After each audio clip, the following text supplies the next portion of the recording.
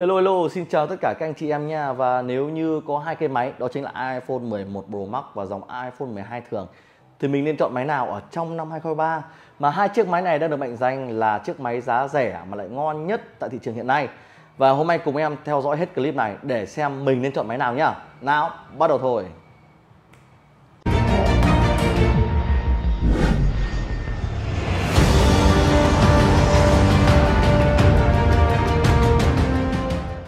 Hello, xin chào tất cả mọi người nhé Và bên tay trái em đây là chiếc iPhone 11 Pro Max Và bên tay phải là chiếc iPhone 12 thường. Thì hôm nay em sẽ chọn hai bạch công tử đến Để có thể là so sánh uh, Nói chung là tương quan, ngoại quan Để cho mọi người có thể hiểu thêm Và xem được cái màu sắc của hai chiếc máy này như thế nào nhá. Rồi ok, nói về phần ngoại hình của chiếc iPhone 12 thường trước. Thì iPhone 12 thường thì được sẽ làm đây là đây sẽ là viền nhôm mọi người nhé viền nhôm này và mặt lưng kính trong mặt lưng kính này sẽ rất dễ bám vân tay. Và nếu như mà mọi người mà uh, dùng cây màu trắng như này thì sẽ bị đỡ bám vân tay hơn nhé còn nếu như mọi người dùng màu đen màu đỏ hoặc là những cái màu uh, đặc biệt của dòng iPhone 12 thường thì nếu như mọi người cầm lên thì thấy mặt lưng kính trong sẽ rất rất, rất dễ bám vân tay nhá. Và sẽ được bổ sung thêm hai camera nằm dọc như thế này. Và nó sẽ không được nhìn nó kiểu là uh, wax select hơn iPhone 13 và iPhone 14 nhưng mà hai cái cam dọc như này nhưng mà nó lại là một viền vuông. Cho nên là nhìn trông rất là thời trang nhìn trông rất là trẻ trung. Giờ những chiếc máy này sẽ phù hợp hơn cho những bạn uh, nói chung là năng động và cá tính. Đấy ạ cầm rất là đẹp luôn mọi người nhé. Rồi tiếp theo là iPhone 11 Pro Max. Cái đầu tiên mà em muốn nói ấy, đây là một viền thép không dỉ và cực kỳ là bền trường tồn với thời gian. Và nó rất là bóng đúng không ạ? Nó cực kỳ là bóng luôn. Và được làm theo nó, đó chính là về mặt lưng kính nhám. Mặt lưng kính này lại có tác dụng là chống bám vân tay, chống mồ hôi tay và cũng như là chống xước. Nếu như mọi người đưa thanh sắt cào đây này, xước mọi người có thể là lau một phát là cũng hết luôn. Đấy ạ. Và nó ăn chung và chung khớp với nhau ấy ạ, thì cho ra cái cảm giác cầm nắm nhìn trông rất là sang trọng. Và những chiếc máy này sẽ dành tặng cho những người mà thích sự sang trọng đẹp đẽ và trường tồn với thời gian. Và mặt sau của iPhone 11 Pro Max sẽ có 3 camera nằm rất là hợp lý. Rồi đây là phần ngoại hình của hai chiếc máy. Và tiếp theo sẽ là về phần màn hình. Màn hình thì mọi người biết rồi màn hình của hai chiếc máy này đều chung là màn OLED và nó sẽ khác iPhone 11 ở cái khoản là uh, iPhone 11 chỉ là màn LCD thôi. Còn iPhone 12 đã được sở hữu ngay cho mình một chiếc màn OLED cực kỳ là giá trị. Những chiếc màn như này thì uh, ở rất nhiều các clip em đã nói với mọi người rồi. Màn OLED mà khi mà mọi người sử dụng chiếc máy này ở bên ngoài đường thì nhìn nó sẽ được rõ ràng hơn và nó sẽ không bị lóa không bị mờ như màn LCD mọi người nhá. Đấy ạ.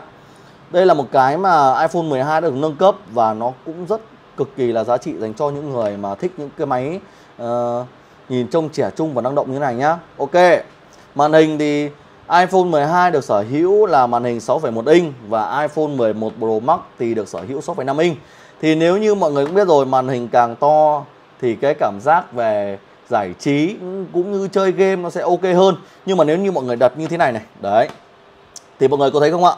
Cái viền màn hình của iPhone 12 thường nhìn nó sẽ đẹp hơn nhá. Đây ấn ấn em vẫn màn trắng nhá. Mọi người thấy không ạ? Nhìn nó sẽ được đẹp hơn rất là nhiều. Đấy. Mọi người thấy không? Nhìn cái đường viền này và những cái góc của iPhone 12 nó được bo tròn như này thì nhìn nó sẽ thích mắt hơn. Còn cái viền của iPhone 11 Pro Max ấy ạ đấy mọi người thấy không ạ? Nhìn nó sẽ không được đẹp cho lắm. Rồi còn nếu về cái phần giải trí và xem phim thì hai cái màn hình này thì nó sẽ y hệt như nhau. Nhưng mà dòng 11 Pro Max thì nó sẽ có độ nít sáng hơn. Thì cái độ nít như thế này nó chính là cái về ánh sáng của màn hình. Thì uh, như em nhớ thì iPhone 11 Pro Max được 800 nit còn iPhone 12 thì được 600 nit thôi. Đấy, nhưng mà nó cũng sẽ không ảnh hưởng quá nhiều cho anh chị em về phần trải nghiệm. Cùng là màn OLED mà, đúng không ạ? Đấy. Hình như cái này đang để chu tông, đúng rồi. Ok, nhìn trông vẫn rất là đẹp, cũng rất là khả quan. Rồi, tiếp theo, đó chính là về phần camera của hai chiếc máy này. Thì nếu như mà ngó lanh quanh về phần camera thì à, một bên là hai camera một bên là ba camera. Nhưng thật ra là iPhone 11 Pro Max nó sẽ hơn khoảng chụp tele.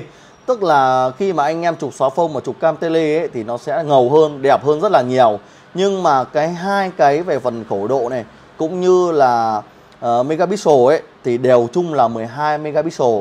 Nhưng mà về cái ba camera thì nó sẽ hỗ trợ cho anh em thêm về cam tele thôi. Và iPhone 12 thường cũng đã hỗ trợ cho anh em chụp ban đêm nhá.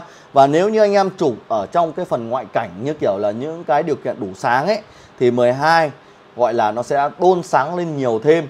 Và nó cũng sẽ hỗ trợ cho anh em thêm một khoản nữa đó chính là lấy nét cực kỳ là tốt. Đấy, bởi vì đây là phần camera của chiếc iPhone ờ, 12 nó đã được hỗ trợ rất là nhiều rồi. Còn iPhone 11 Pro Max thì ờ, cũng được 3 năm rồi. Và cái hình ảnh của chiếc máy chụp ra nó sẽ không còn được quá hoàn hảo nữa.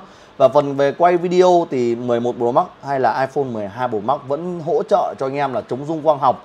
Nên là mọi người có thể là quay video vẫn rất là thoải mái. Và phần thu âm mic của những cái dòng máy như thế này này thì mọi người cũng đã biết là dòng Apple dòng iPhone mà mọi người rất thích ở cái phần quay video và cũng như là thu âm. Đấy.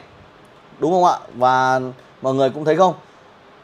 Nó đầy, sẽ, nó sẽ đầy đủ tất cả tất cả mọi thứ y hệt như nhau. À nhưng mà nếu như mọi người thích cái cam selfie ấy, đây, em sẽ mở cho mọi người xem hai cái cam selfie của chiếc máy này. Rồi. Đấy, mọi người có thấy ờ, cái điểm gì khác biệt không ạ? Cái màu ảnh của dòng 12 này sẽ sáng hơn rất là nhiều cái màu ảnh so với iPhone dòng 11 này nhá.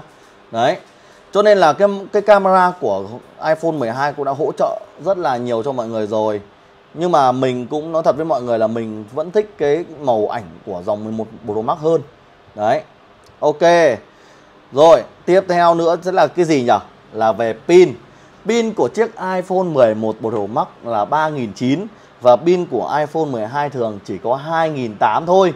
Cho nên là nếu như mà anh em mua máy về mà để sử dụng và tính về pin ấy thì 11 Pro Max nó sẽ ăn đứt tất cả các series của dòng 12 kể cả là iPhone 12 Pro Max. Đấy, nếu như mọi người mà mua một chiếc máy mà liên quan đến pin rất là nhiều mà cần sử dụng lâu dài, thì mọi người sẽ chọn cho em máy này nhá, bởi vì là pin của nó dùng cực kỳ là trâu.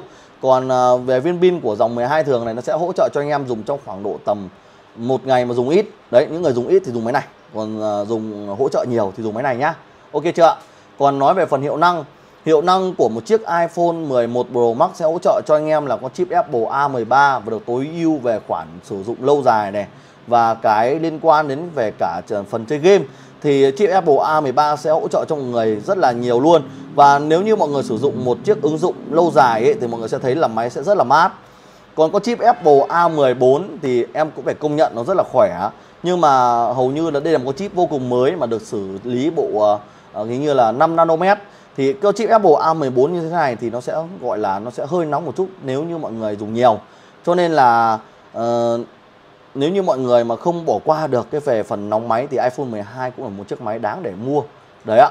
Rồi và phần uh, tổng kết của em thì nếu như mọi người thích một cái hiệu năng tốt sử dụng ờ, ổn định và một viên pin trâu thì mọi người sẽ chọn cho em về phần iPhone 11 Pro Max. À và kể cả thích cái sự thiết kế nhìn trông sang chảnh như này nhá còn nếu như mọi người là một người năng động uh, thích chụp ảnh thích quay video thì mọi người chọn cho em chiếc iPhone 12 thường này nhé còn nếu mà mọi người thích chơi game ấy thì mọi người chọn cho em chiếc máy như này.